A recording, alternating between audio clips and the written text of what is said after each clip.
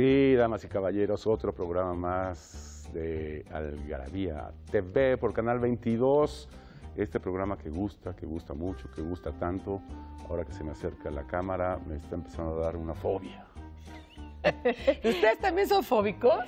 Sí, pues todo mundo tiene su fobia, algo te produce horror. Yo tengo varias. El artículo de Algarabía se llama Hay muchas fobias y a cada uno la suya. Así es, no se vayan. Quédese, vamos a hablar de fobias.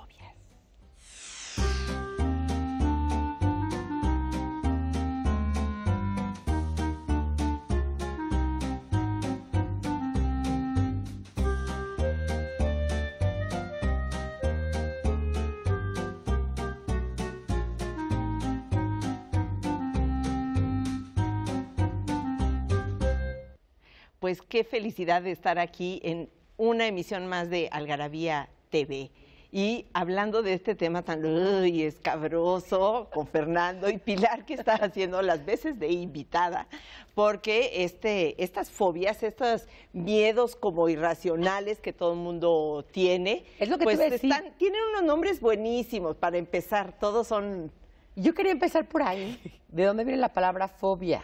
Que viene del phobos del griego y que justamente quiere decir eso, miedo irracional. O sea, un miedo que te rebasa, que, Que no, te rebasa. que Y no aparte- puedes con él, no, o sea, porque no es una cosa así como a mí me da miedo caerme, bueno, eso es diferente, ¿no? Porque te da miedo va a hacerte daño. Ajá. O a mí me da miedo este que a mis hijos les pase algo en la escuela, ¿no? Sí. Puede ser un miedo racional. La fobia es un miedo que te rebasa y que va más allá Hijo, eso es, y que va al- a, los hemisferios cerebrales, es una cosa como eléctrica. Sí, es horrible. Yo soy claustrofóbico.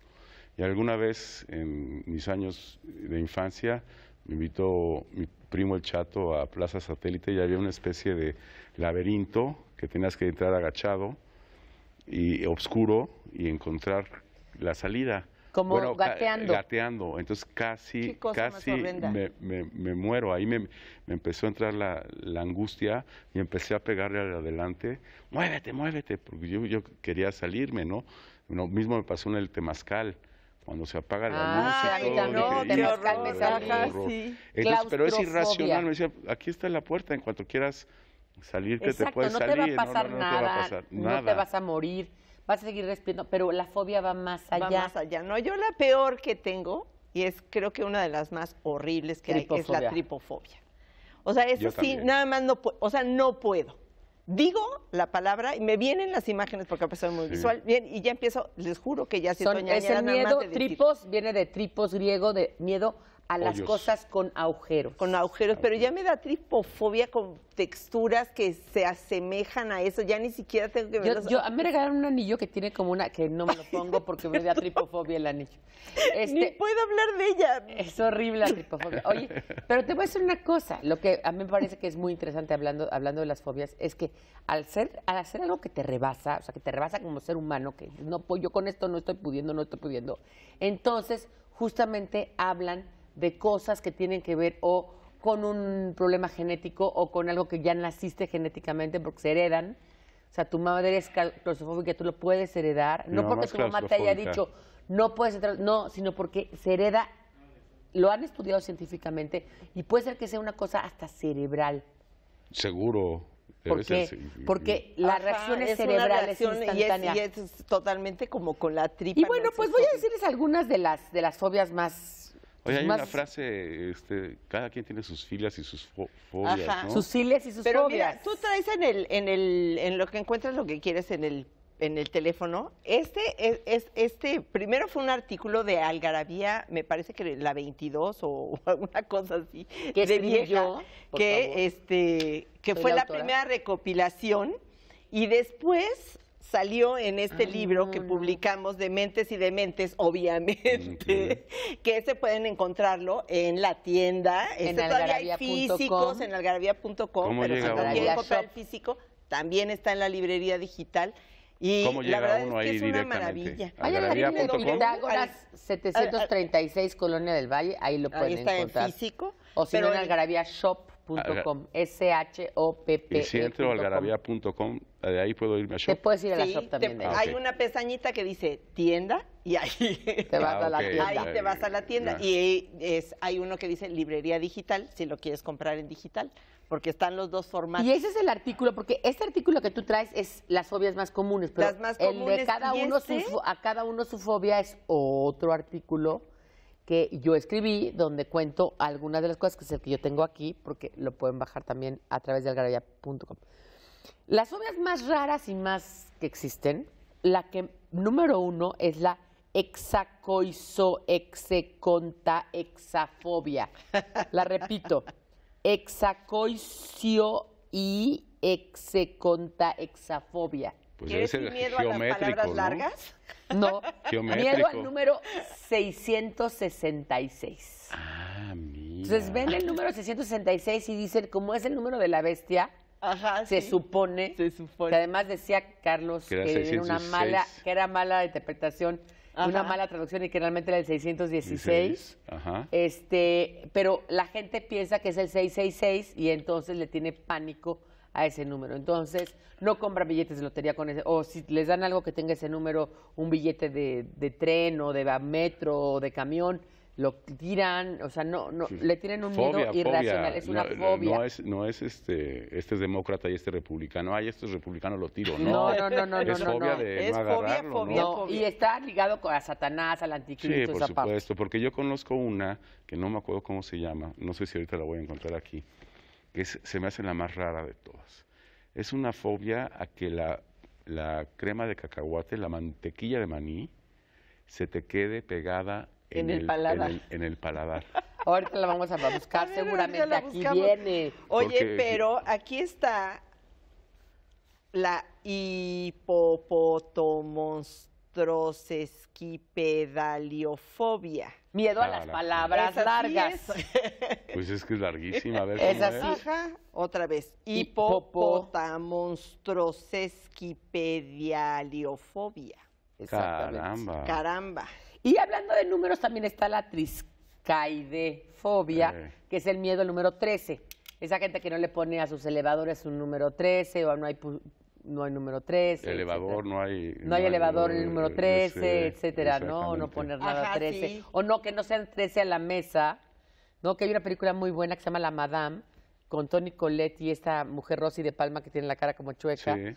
Que, este, que es una muchacha y, y ella, como tiene triscaidecafobia, no quiere que sean 13 a la mesa y entonces sienta a la muchacha Ah, ok. que era española y son franceses, la española, la muchacha era española, y la sienta ahí y se enamora el, el Ah, ok. ministro, no sé qué de ella.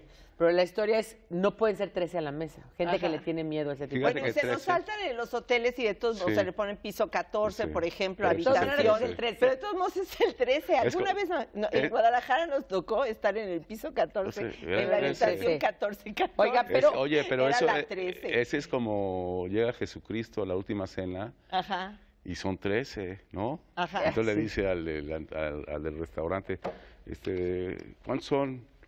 Ah, pues quiero mesa para 26. ¿Para 26? Si yo cuento 13. Ah, es que nos vamos a sentar todos del mismo lado.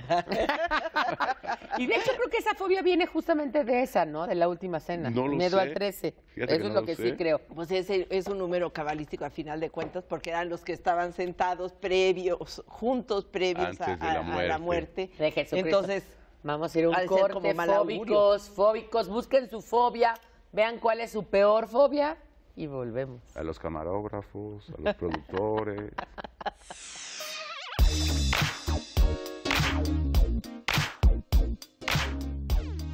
La escasez de recursos y conocimientos orillaron a los médicos de la antigüedad a utilizar su creatividad creando extraños antídotos para aliviar algunos males. Estiércol de oveja. En el antihigiénico siglo XVIII, la ictericia podría ser tratada con un brebaje de estiércol de oveja, vino blanco, azafrán y cúrcuma. Ranas eran utilizadas para curar diferentes malestares como dolor de muela, estómago y hasta hemorroides. Saliva. La saliva en ayunas solía aplicarse directamente en los ojos inflamados para los tratamientos de la tiña y las verrugas. babosas y gusanos. Para una tos persistente, no hay nada como una babosa, un buen gusano o un caracol machacado y luego hervido.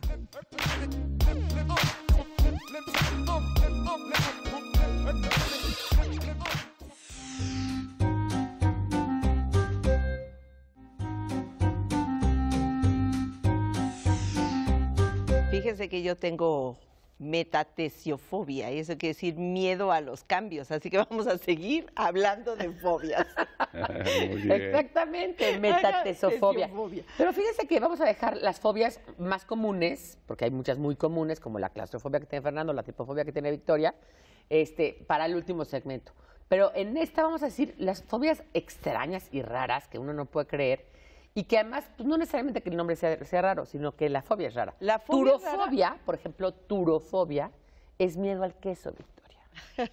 Victoria y yo podemos vivir de quesos. De queso, imagino, o sea, qué bueno que no la padezco. No, la mitad de mi alimentación no existiría. No es el queso amarillo en particular. el que No, yo ese sí, sí tengo, el, el, el, el turo americana, amarillofobia, sí lo tengo. Pero es que no te gusta la torta de los tres quesos, entonces. No. Imagínate. Ahora, tú dijiste, la de los tres quesos, ¿qué es? La torta de los tres quesos es queso de puerco, queso amarillo y, Y cheese cheese whiz. Chismes. Hazme el favor. No se me le echaba. Ya en una, con una rajita. Ya en una de esas, sí, con Y su con el hambre, el chipotlito. hambre que tengo ahorita. Ajá. Oye, pero dices tú que hay alguien que, que el queso amarillo le da miedo que se les... La crema de cacahuate. La crema de cacahuate. Ah. ¿Cómo la se mantequilla llamará? de maní. Un emparedado de mantequilla de maní. Y que Oye, se les quede en... O sea, en la paladar. fobia no es a la, a la mantequilla de maní, Pero sino- creo que todas las fobias a algún alimento o de a cosas tan comunes que dices, ¿cómo lo evitas? Bueno, pues es que hay, hay al agua, muchas cosas que dices, al, al agua, hidrofobia, imagínate. Hidrofobia. Imagínate, eh, aliumfobia, que es miedo al ajo. Ah, como Drácula. Como Drácula.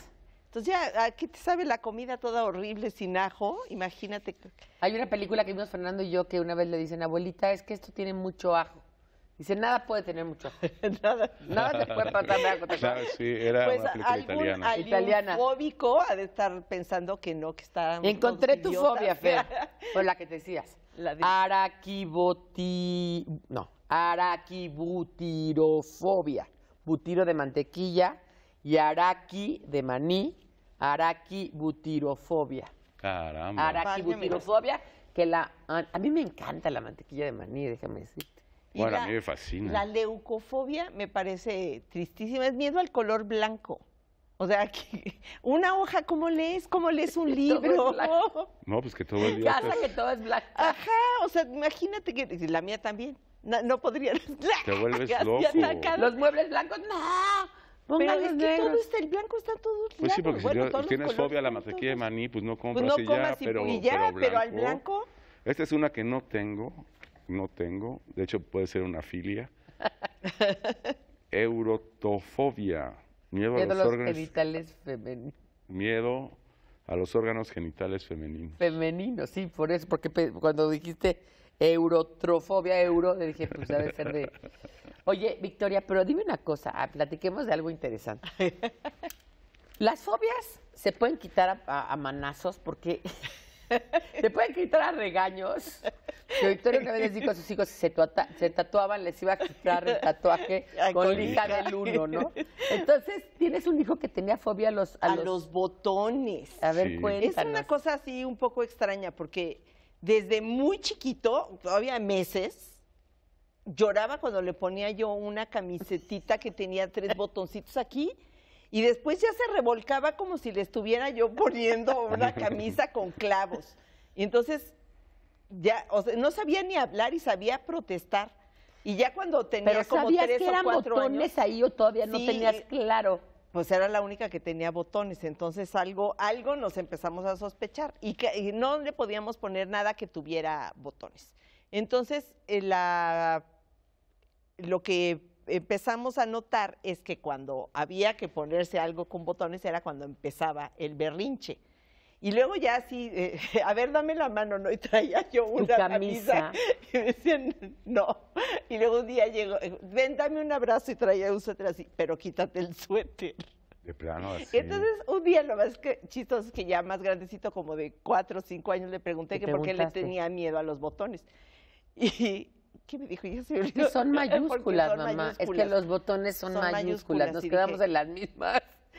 No Nunca sabemos. supimos por qué le ¿Por tenía botones. Victoria, obviamente, le puso botones cuando le dio la gana, porque no, no- o sea, ahora sí que no le hizo la, la- no le hiciste el juego. Ajá. Pero hasta ahorita creo que él no se, no se compra nada. No se compra nada que tenga botones. Tiene dos camisas que tiene que usar, ya sabes, cuando alguna vez usa traje eso, evento. pero no tiene nada que tenga botones. Sí, nada. cosa. Una chemisla, cosa así, con que tenga dos botecitos aquí. No, él- Entonces- él se Y compra- los broches del overol le tuve que decir que eran broches, que eso no eran botones. Ve cómo son diferentes. No, porque no se quería poner. ¿cómo chingados no te lo vas a poner?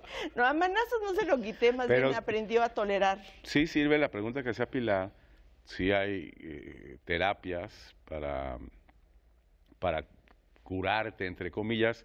Dicen que casi nunca sirven hasta que te, si eres claustrofóbico, pues a meterte Es de a choque, terapia de eh, choque, conductual. El choque, sí, ajá. sí, sí, Pero sí. ¿qué tal la- los que tienen miedo a vestirse?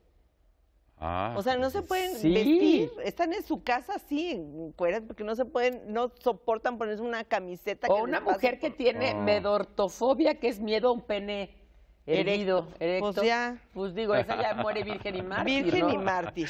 Bueno, hay, hay O un este, hombre la puede tener. Tú tienes metra, me, metates, perdón, Mm. Fernando, la del pene erecto, Medortofobia. No, no, no tengo medortofobia. Pero de un ajeno tampoco Pero te imagina, gustaría verlo. imagínate un, un, o sea, un sujeto que tenga ese miedo, o sea, qué triste vida. Qué triste. Bueno, vida. pero también está la itafalofobia, miedo a lo que piensen los demás de tener su pene erguido. No, pues está de la fregada. Ese sí no es de los que se abre No, así. ¿verdad? no, no, todo no, lo no, contrario. Bueno. Pero pues a ver, Fer, ya vamos a mi taquito de lengua. Ya nos toca. Caramba. Bueno, pues este ahora Pilar nos va a hablar interesantísimo, interesantísimo de cómo los paneles solares se relacionan con los con las abejas. Muy bien, vamos. Если я чешу в затылке, не беда. В голове моей опилки, да, да, да. Но хотят там и... ¿Te resulta familiar? и вопилки, а также шумелки, пыхтелки и сопелки. Сочиняю Este я osito se стихи, llama да. Winnie Pooh Если я чешу y в es el hermano затылке, ruso да. de Winnie В Pooh. En 1969, el ilustrador Fyodor Kidruk desarrolló un cortometraje, basándose en los libros de Alan Alexander Mile, publicados en 1924.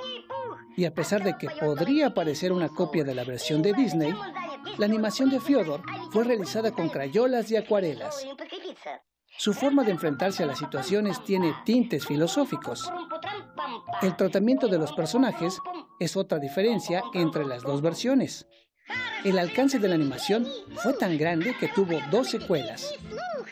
Además, fue elegida en 1988 y en 2012 para emitir sellos postales conmemorativos.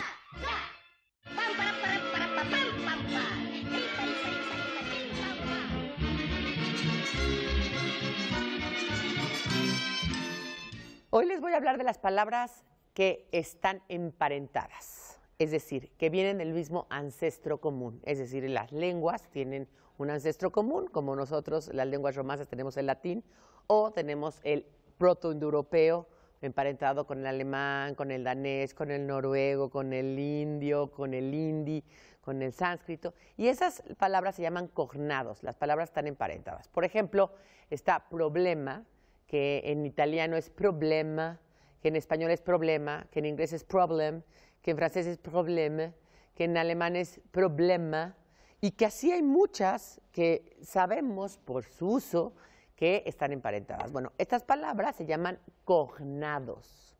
Y cognado viene del, del latín cognatus, que quiere decir primo o pariente. De ahí, de cognatus, viene en español la palabra cuñado. Ahora ya lo saben, luego vamos a hablar más de este tema en otra de nuestras cápsulas, pero ahorita vamos a un corte.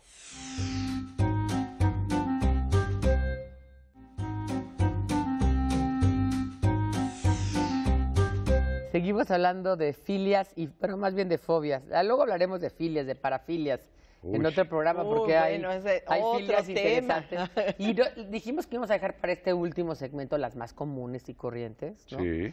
Por ejemplo, la aerofobia, ¿Ese es común y corriente? es el miedo a los aviones. Súper común y Ah, de volar Ajá, en sí, los... de volar en los Aerofobia. Ah, de volar De en el avión. en de el subirse en Y el la avión. agorafobia también, un Agorafobia. poco, agorafobia que Sí, es los a- lugares a abiertos, Los lugares ¿no? abiertos. Y con Sobre todo cuando gente. estás en, en lugares muy elevados, si sientes como algo te frena y es una cosa, ahí es el instinto de conservación. Claro. O sea, no, no Sí. pierde la- la- la- ya los que no pueden poner un pie fuera de su casa ya es otra cosa, pero e- esto que te detiene a lanzarte, Y eso esto- es su y- instinto de Y conservación. esto del avión, este, no puedes ir a comer al avión este que está ahí en, ahí por, El Por aeropuerto. El del Ajá. Wings, sí. Ajá. no pues- puedes. Pues, ¿para qué? Pues no. Pero es muy común que la gente tenga sí, miedo porque al avión, que- a volar, a, a volar. volar, que se, que Ajá, se Ahora, vaya- ¿es común que la gente tenga peladofobia o falacrofobia, que es miedo a los pelones? ¿O a que ellos se queden pelones? Ah, pues deben ser dos distintas. Pues, falacrofobia es miedo a los pelones y peladofobia que tú te quedes pelón. Ah, yo no, yo no tengo ninguna de las. No, tal, pues vez no. la, tal vez la primera sí, a un, a un pelón. A un pero, pelón, pero- pero estoy hablando de otras cosas. Ay, qué- ¿Y No, la cacofobia qué creen que es? A ver, ¿tú qué crees que es? ¿De repetición, de ca- cacofonía? No.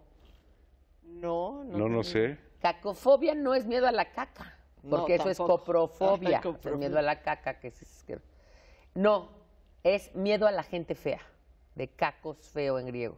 No, pues eh, Pues, imagínate. o sea, No vas por la vida como. te subes, al, Así te, te- te- te subes al subes metro, al y te, metro, o y sea, te no, ya, detenido ahí. No, y espérate, te ves en el espejo en la mañana y Sí, también. No, también.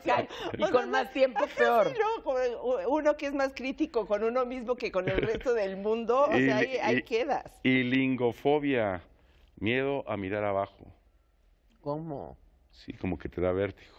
No es Ah. como José Alfredo de que yo, tú para arriba. Ando, yo, yo, yo para arriba, volteo no, para abajo, tú- tú, tú para abajo no sabes mirar. Mira, ahora aquí estaba leyendo la hilofobia, no crean que es miedo a los hilos, sino Ah. a los bosques. Ah, sí, Sí, a los de bosques. Ahora que mis papás reposan en un bosque, espero que no hayan A mí tenido no me esa parece fobia para porque- nada que un Ajá. bosque sea un lugar feo. Ajá, no, pero Aunque en, las, en los cuentos de hadas siempre los bosques eran el bosque. el bosque, pues ahí dejaron a, a la, este, ¿cómo se llama? Blancanieves en el bosque, los árboles le, le parecían que la atacaban y, no, y se movían de lugar y... Sí, sí, sí. Y la sí. filematofobia, que es miedo a besar. A dar beso de lengüitas. ¿En dónde? Ah, No, de a dar beso con Otra beso, triste besar. vida, Ajá. otra Triste triste vida, vida. pero les da asco, les dan asco los gérmenes, entonces tienen filematofobia, que este es, este es- No, bueno, y esto sí sería horrible. esta es Frenofobia, rarísima. A la inteligencia. miedo a pensar. No, pues hay mucha gente que tiene miedo a pensar y es bien pendeja. Y por eso va por la... Ya hablamos de los estúpidos, ya hablamos Ya, de claro. frenofobia todos. tienen frenofobia. Oye, todos. levofobia, miedo a las cosas del lado izquierdo del cuerpo.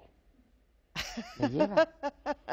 O sea, si quieres miedo un, a, la- si a este pie, pero este a este no. pie y a este Sí, no. o sea, quieres la- mucho a tu testículo derecho, pero el izquierdo. Al como izquierdo te- no. que te. Eso me recordó el chiste, ¿no? El que llega un cuate y ve a un señor que le está diciendo, doctor, doctor por aquí, doctor por acá. Y este, en una fiesta dice, yo me le acerco yo de una vez. Dice, oiga, doctor, ya aprovechando que está usted aquí, yo déjame decirle que tengo un dolor muy fuerte en el testículo izquierdo.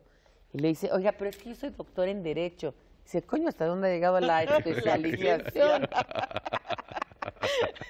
Sí, por supuesto. Este, miedo a la, a la menstruación, menofobia. Pero que de que un hombre o de una mujer o... Miedo a la menstruación, el que puede ser hombre o No, mujer. la menstruación es pesadita, pero...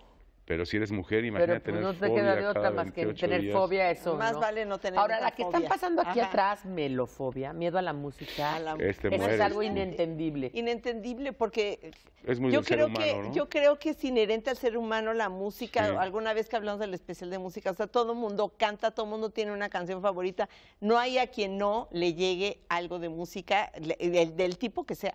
Todo el mundo puedes ama tener regga- rega- reggaetonofobia. Sí. Que sí, ¿no? Fobia sí, al reggaetón. ajá, sí, con esas letras sí. asquerosas que tienen, no manches. Oye, pero, Pero no a la música, o sea, la música. Sí, es... Aunque déjame decirte que yo estuve casada con, con alguien que me decía que yo todo el día oía música y me decía, ay, pareces, eh, te pareces a mi muchacha este, que todo el día tenía el radio de la rancherita del cuadrante. Porque pues yo oigo música que eso no canta, es por fobia, es por amargado. Para amargado, sí, sí, sí. Con todo respeto, pero... Oye, pero ¿qué tal le- la crometofobia? Eso que viene ¿Al siendo... color? con- Ay, al, al dinero. No. No, con lo que se necesita. Pero creo que Ah, yo ahí tiene que ver, pero no es Es- tanto el dinero no es como de- de transferencia, comprar, sino, sino agarrar el dinero, sí. agarrar, Puede tocar el dinero por las Y esta es la peor que te puede pasar. La caliginefobia. Miedo a las mujeres hermosas. Y ya te casas con una fea, ya. Fosca. El caso de Fosca. Vean esa película que se llama Pasiones de Amore, Pasiones de de Héctor. Escola, donde justamente él se enamora de la más fea del planeta, Sí, era fea. Fosca. teniendo a una bellísima junto, ¿no? Sí. No sé si tenía esta, esta fobia. Se llama caliginefobia. Caliginefobia. De Cali bonito. Y Ah, sí. Gine mujer. El Por griego. razón me ha dicho que Cali es muy bonito. Sí. Cali, Oye, Colombia. Y cu- cu- cuando dije eh, la crometofobia, que es miedo al dinero, dijiste miedo al color, esa es la cromofobia. Cromofobia, miedo al color. Bueno, a mí sí me gustan los fregada. colores, de colores. Me gustó mucho ese programa de fobias y Fernando lo va a terminar con broche de oro. Con uno de sus datos. Ajá, hoy voy a hablar de la eh, melaza que nace en los bosques de Burundi. Sí, y cuando tomas esa Melaza. melaza, si la ingieres, eh, se calcula que un hombre sano elimina entre 30 y 100 billones de, de- de bacterias cada día por medio de sus excrementos. De 30 a 100 Bi- billones. billones de o sea, bacterias. de 30 mil a 100 mil millones. No, no, no. Billones. Ah, es que- Billones. Estoy como Peña Nieto, ¿te acuerdas? No, no, Peño, no. que un billón, Cuatro- que era billón, ajá, que no. era uno, sí. no, ajá. billones. Billones de bacterias. Las bacterias nos hacen bien. Billón en español es un millón de billones. Exactamente. No mil millones. No mil lo- millones, como como. Yo ya estamos como Peña Nieto. Sí, ya no están contando bien.